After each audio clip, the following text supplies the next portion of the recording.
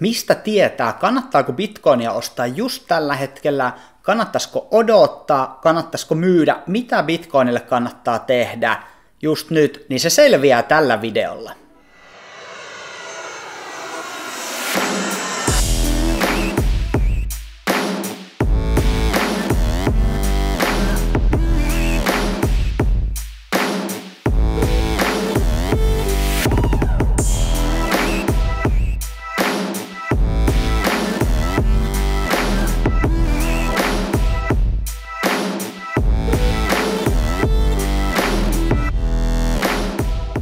Ville tässä moikka! Nyt on analyysivideon aika. Mä oon tän aamun pohdiskellut, että mitä bitcoinille kannattaisi tehdä ja analysoinut sitä, että kannattaako sitä ostaa, myydä, pitää, miten ajoittaa eri asioita siihen liittyen. Ihan alkuun, tämä ei ole, mitä, tää ei ole minkäänlaista sijoitusneuvontaa, mulla ei ole lupa tehdä sitä, nämä on kaikki vaan mun omia mielipiteitä, omia näkemyksiä, perustuen mun omiin kokemuksiin, mitä mä oon huomannut tähän aiheeseen liittyen. Kun me pohditaan tätä Bitcoin-markkinaa yleensäkin kryptovaluuttamarkkinaa, niin Bitcoinhan on se ohjaava kryptovaluutta yleensä kaikessa. Ja Bitcoinin kurssikehitys monesti perustuu siihen, että kun Bitcoinin louhintapalkkio puoliintuu neljän vuoden välein, eli 2016 vuonna se puolittu, siitä seurasi 2017 se hurja nousukausi, 2020 se puolittu ja nyt 2021 on seurannut taas hurja nousukausi, ja nyt me ollaan tilanteessa, jossa on tultu jonkun verran takapakkiin sitä huipusta, ja nyt meidän pitäisi miettiä, että mitä, kannattaako meidän ostaa nyt, kannattaako me odottaa vielä, vai onko liian myöhäistä ostaa, vai mikä tämän koko jutun tilanne on. Kun mä oon tehnyt paljon eri analyysejä, kuunnellut, tutkinut muiden näkemyksiä tästä Bitcoin-markkinasta, niin on ollut kaksi su- semmoista yleistä variaatiota, miten on ajateltu, että tämä nousukausi menisi. Toinen variaatio oli se, että jatkuisi niinku tasainen nousu tämän vuoden lopulle, ja toinen versio siitä oli taas se, että on tämmöinen niinku kahden huipun nousukausi. Ja monet veikkas sitä, että tämä olisi niinku tasasta nousua vuoden loppuun asti, mutta nyt kun katsotaan markkinaa, niin ollaan tultu jonkun verran alas tuosta edellisestä huipusta. Se mahdollisuus, että meillä tulisi kaksi huippua, niin on todennäköinen. Totta kai kaikki voi, Bitcoin voi mennä nollaan tai lähelle nollaa, ikinä ei voi tietää sitä. Kun mä tein analyysiä, niin mä oon huomannut yhden tekijän, mikä on aika helppo seurata ja mikä antaa vähän vahvistusta siihen, että milloin kannattaisi niitä ostoja tehdä. Jos sua ei kiinnosta tutkia tätä tarkemmin, jos sä ostat, sä hajautat ajallisesti, ostat joka kuukausi samalla summalla, niin sä automaattisesti vähän saat paremman ostohinnan sille bitcoinille tai muille kryptovaluutat tai ihan mille tahansa muulle omaisuuslajille, mutta se, että se pelkkä ajallinen hajauttaminen ei takaa niitä parhaita tuottoja, mua itse kiinnostaa saada paljon parempia tuottoja kuin se, niin silloin pitää pystyä vähän analysoimaan, mitä markkinassa voisi tapahtua. Ja hypätään ruudun äärelle, niin katsotaan vähän tätä Bitcoinin kurssikehitystä. Eli tässä on käyrä, tämä on viikkokynttilät, eli tämä tarkoittaa sitä, että yksi tämmöinen palkki, punainen tai vihreä, edustaa yhtä viikkoa. Ja täällä alla näkyy nämä niin kuin aikajana, eli tuossa esimerkiksi 2020, täällä on, kun mennään taaksepäin, niin tuossa on se 2017 huippu, ja nytten 2021 käytiin tuolla huipussa ja ollaan tultu alaspäin. Niin nyt jos me katsotaan, että näkyy noin molemmat huiput, niin jos mä laitan tämän hiiren tämän huipun kohdalle, niin eihän me olla vielä, vielä tota, edes palattu siihen, niin kuin mikä oli 2017 korkein kohta. Eli tavallaan kun ajatellaan, että me ollaan tosi korkealla vielä. Mutta jos me katsotaan tämä sama käyrä osake markkinasta, esimerkiksi nämä isoimmat indeksit, niin se me oltaisiin ihan siellä niin kuin tapissa, niin sitäkin kannattaa miettiä myös, että onko siellä hyviä oston paikkoja, jatkuuko se kasvu ja nousu koko ajan, vai voiko sielläkin tulla takapakkia. Mutta se, että mikä yksittäinen tekijä, niin millä me voidaan katsoa, tai mihin mä itse asiassa luotan tällä hetkellä, että mikä mikä voisi olla semmoinen merkki, että milloin on hyvä aika ostaa, niin mulla on täällä tämmöinen yksi indikaattori, mä laitan sen näkyviin, eli toi oranssi viiva, se on tämmöinen, tämän niminen kuin MA50, eli moving average 50, se tarkoittaa liukuvaa keskiarvoa, ja 50 tarkoittaa sitä, että se on 50 kynttilän ajalta.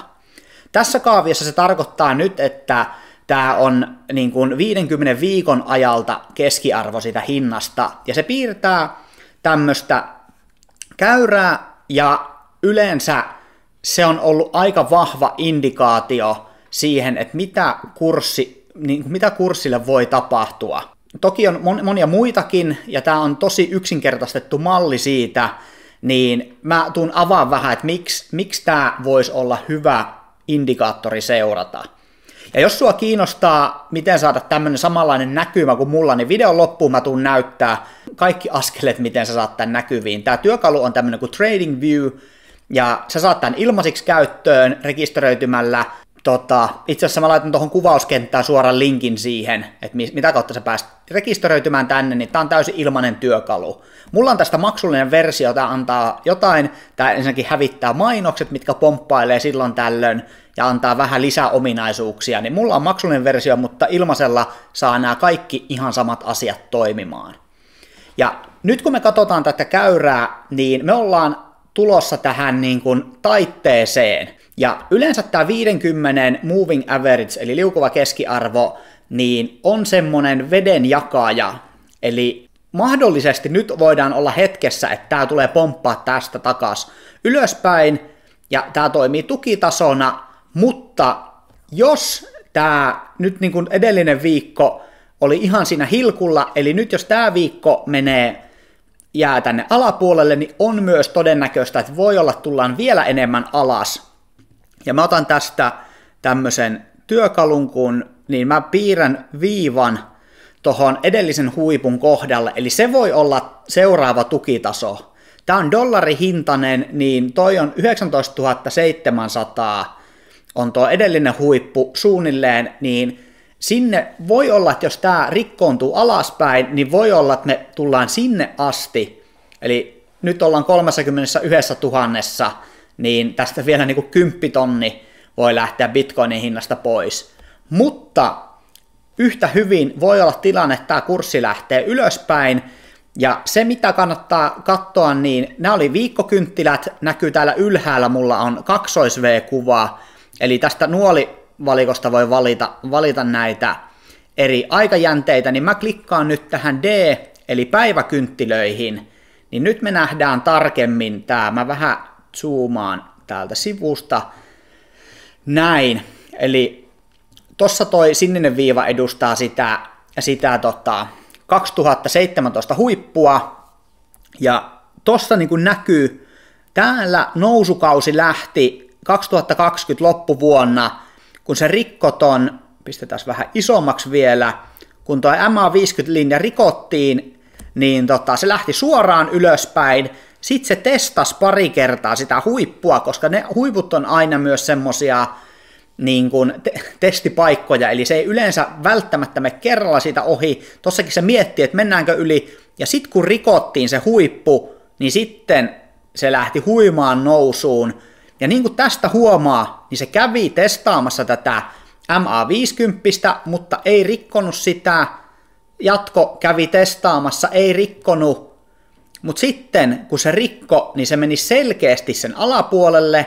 Tossa se testasi, että lähdetäänkö taas ylös. Ei käynyt niin. Se rikkoutui alaspäin ja nyt on taas tämmöistä sahausta liikenteessä. Niin mä itse henkilökohtaisesti odotan sitä, että kun päiväkynttilöillä – me tullaan, testataan tätä MA50, ja ri, jos me rikotaan se yläpuolelle, niin se on mulle merkki siitä, että nyt voi olla todennäköistä, että se kurssi lähtee ylöspäin. Eli silloin olisi semmoinen hetki, että mä olisin tankkaamassa lisää, jos mä niin päätän. Sijoittaminen, niin monesti monet tekee sitä ihan silleen sattumanvaraisesti ja semmoinen, että hei, nyt tuli tili eilen, tänään tuntuisi oleva hyvä päivä, että laitetaan rahaa sijoituksiin, niin se ei ole se paras tapa, vaan kannattaa opetella vähän analysoimaan, mitä tässä tapahtuu tässä markkinassa. Ja kun sä pystyt siihen, niin ei, se ei tarkoita sitä, että joka kerran ne asiat menee oikein. Ihan samalla tavalla tulee vääriä ratkaisuja, koska ei me voida tietää. Markkina voi lähteä ylös tai alas tai sitten se voi jatkaa sivuttain, mutta ne todennäköisyydet onnistumiselle tulee kasvamaan. Niin kuin tässäkin käytiin läpi tätä, niin näkee miten vahva taso toi MA50 liukuva keskiarvo on. Ja nyt ollaan mielenkiintoisessa hetkessä, eli me ollaan viikkokynttilöissä testaamassa sitä, että rikkoontuuko se alaspäin, ja samanaikaisesti me ollaan päiväkynttilöissä testaamassa, että lähteekö se ylöspäin. Jos nämä molemmat toteutuu, niin on aika todennäköistä, että kurssi lähtisi ylöspäin ja se tarkoittaisi hyvää ostopaikkaa. Jos se taas se MA50 rikkoontuu alaspäin, niin mä näen mahdollisena, että se tulee tänne 2017 huipun tasolle. Eli jos nyt sokkona lähti ostaa, kun katsoo tämän videon tai on kuullut jotain uutisia Bitcoinista, niin voi olla, että se kurssi vielä tulee 10 tonni alaspäin. Eli kannattaa miettiä sitä, että laittaako kaikki rahat kerralla siihen bitcoiniin, vai hajauttaako ajallisesti kuukausi kerrallaan, vai hajauttaako ajallisesti niin, että vähän katsoo näitä analyysejä, että mitä siellä tapahtuu. Mä lämpimästi suosittelen analysoimaan, harjoittelemaan, kokeilemaan eri juttuja, ja oikeastaan seuraavaksi mä voisin mennä siihen kohtaan, että katsotaan, miten nämä työkalut saa näkyviin. Eli jos sä haluat lähteä treenaamaan tätä teknistä analyysiä Bitcoinilla, niin katsotaan kaikki asiat, mitä sun tarvitsee siihen tietää. Nyt mä otan kyllä hörpyn herkullista kaakaota. Mä, tää on oikeastaan mun oma resepti. Ja tätä voisi varmaan sanoa tuotesijoitteluksi tämmönen vauras elämä Inner Circle muki, mitä on aika harvalla suomalaisella – vain niille, jotka kuuluu tähän Inner Circleen mukaan, niin niillä tämmöinen löytyy kotoa, mutta tämä kaakao, mä kehittelin uuden reseptin, mä ennen tein kermaan kaakao, mutta sitten mä huomasin, että tulee aika paljon kermaa juotua ja se ei välttämättä tee, tee mun elimistölle kaikkein parasta, niin mä kehittäin toisen vegaanikakao resepti, eli mä nyt mainostan tätä, koska tämän kuka tahansa voi tehdä, eli raakakaakaota kun laittaa pohjalle, siellä on paljon hyviä ainesosia, sitten mä oon laittanut, no tässä on luomusoijamaitoa, sitten mä laitan kookosmaitoa, semmoista peltipurkeista, semmoista kiinteitä kookosmaitoa, niin se on aika hy- hyvin toiminut tässä. Sitten kookossokeria, kanelia, chiliä, mitähän muuta, kuumaa vettä, niin tulee superherkullinen kaakaa ja tää on itse asiassa aika monena aamuna mun aamiainen, että semmonen sneak peek tähän mun, mun tota aamurutiineihin tulee hyvin rasvoja, ne pysyy pää virkeänä, niin jaksaa analysoida vaikka koko päivän näitä käyriä, jos niin päättää tehdä. Mutta nyt katsotaan, miten tämä homma toimii. Eli tehdään silleen, että mä klikkaan ton pois, se näkyy tuossa MA50 rastista, niin ensinnäkin mä en ole varma, miltä se oletusnäkymä näyttää, mutta kun pääset tähän näkymään, niin täällä on muuten, voi olla, että se on, katsotaan näin. Eli täällä on, mulla on tämmöinen tumma, tumma tota, tausta käytössä. Mä oon tehnyt tumman, se on valkoinen sulla oletuksena, mutta se ei haittaa. Mä tykkään jotenkin itse katsoa tämmöistä tummataustasta niin se mitä sun pitää tehdä, niin täällä vasemmalla ylhäällä on symboli, niin jos kirjoittaa BTC USD, niin se näyttää kaikki eri pörssit. Ja mä monesti käytän tätä Coinbasea, kun tässä on aika pitkä historia, eli näkee ne 2017 ja kaikki ne hypyt sieltä, niin klikkaa tätä, niin tulee tää käyrä. Otetaan toi vielä pois. Ja sitten mitä seuraavaksi, niin täällä näitä ei välttämättä näy sulla. Mä en muista, onko tämä maksullisen ö, työkalun vai ilmaisessakin saako näitä tähtiä laitettua, mutta kun laittaa nämä tähdet, niin sitten ne näkyy täällä oletuksena. Mutta täältä katsoo vaikka päiväkynttilät, eli D. Ja sen jälkeen tässä on tämmöinen candles-kohta, niin täällä voi valita, että näkyykö nämä tämmöisinä palkkeina, kynttilöinä, viivana, ihan mikä vaan. Mä oon tottunut katsoa näitä tämmöisenä kynttilöinä.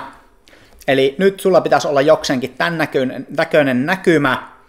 Ja sitten täältä, täällä voi, niin kuin tähän tulee tämmöinen, kun vie tänne aikajanalle, niin tällä voi zoomata näin päin, ja sitten täällä, kun vie tänne, missä on tämä kurssi, niin voi, voi, kun painaa hiiren pohjaan, niin voi venytellä sitä sopivan kokoiseksi. Ja sitten, miten me saadaan se MA50 näkyviin, niin täällä on tämmöinen indicators-kohta, ja tänne kun pistää MA, niin tulee moving average. Mä oon laittanut sen tähdellä, että mä löydän sen nopeammin, niin tota, klikkaa sitä, niin se piirtää tuommoisen ohuen sinisen viivan, ja sitten täältä rattaan kuvaa, koska täällä lukee MA9, niin rattaan kuvaa inputs-kohdasta, niin vaihdetaan toi 950, eli tää oli MA9, joka edusti 9 kynttilää. Laitetaan se 50, sitten mä klikkasin tähän ulkopuolelle, niin se muutti sen erilaiseksi, ja sitten täällä on tämä style-kohta, niin voi klikata tästä sen väriseksi kun haluaa, ja sitten täällä alla on vielä viivan paksuus, voi, voi leikkiä sillä. Laitetaan vaikka nytten, laitetaan valkoinen viiva tällä kertaa. Mutta kannattaa käyttää jotain tiettyä väriä, et, joka kerran kun sä teet sen, niin sulla jää se tietty mielikuva. Mä oon nyt MA50 pitänyt oranssina jostain syystä, mutta se voi olla ihan mikä tahansa väri, minkä sä haluat. Ja näin sä voit katsoa tätä, ja sitten jos klikkaa viikkokynttilät, niin se päivittyy automaattisesti siihen. Eli tässä oli oikeastaan lyhyt tiivistelmä siitä, miten, miten TradingViewtä käytetään esimerkiksi nyt Bitcoinin kurssin analysointiin. Jos sä tykkäät näistä videoista, jos näistä on hyötyä sulle, jos sä opit jotain uutta tai tämähän saa sulle niinku uutta ajateltavaa, niin laita ihmeessä kanava tilaukseen, klikkaa kellokuvaketta, niin saat ilmoitukset, kun uusia videoita tulee. Tykkää tästä videosta, klikkaa peukku ylöspäin, jos tää oli semmonen, että sä haluat näitä lisää, niin mä tiedän niistä aina, että mitkä on herättänyt kiinnostusta ja suosiota, niin mä pyrin jatkossa tekemään sen tyyppisiä videoita enemmän. Ja jos sulla on jotain kysymyksiä, haluat kommentoida, omia ajatuksia kertoa, kirjoita ne siihen kommenttiosioon, niin mä käyn siellä vastailemassa niihin kommentteihin aina kun kerkeään, en välttämättä kaikkiin, mutta pyrin vastaan niihin mahdollisimman hyvin. Loistavaa päivän jatkoa sulle ja toivottavasti tästä oli hyötyä, että osaat arvioida itse, milloin kannattaisi Bitcoinin sijoittaa vähän paremmin, että se ei ole niin sattumanvaraista, niin tuuripeliä. Ikinä ei voi tietää, miten käy, mutta toivottavasti nämä vinkit antaa vähän enemmän varmuutta sille sijoittamiselle. Palataan seuraavalla videolla. Moikka!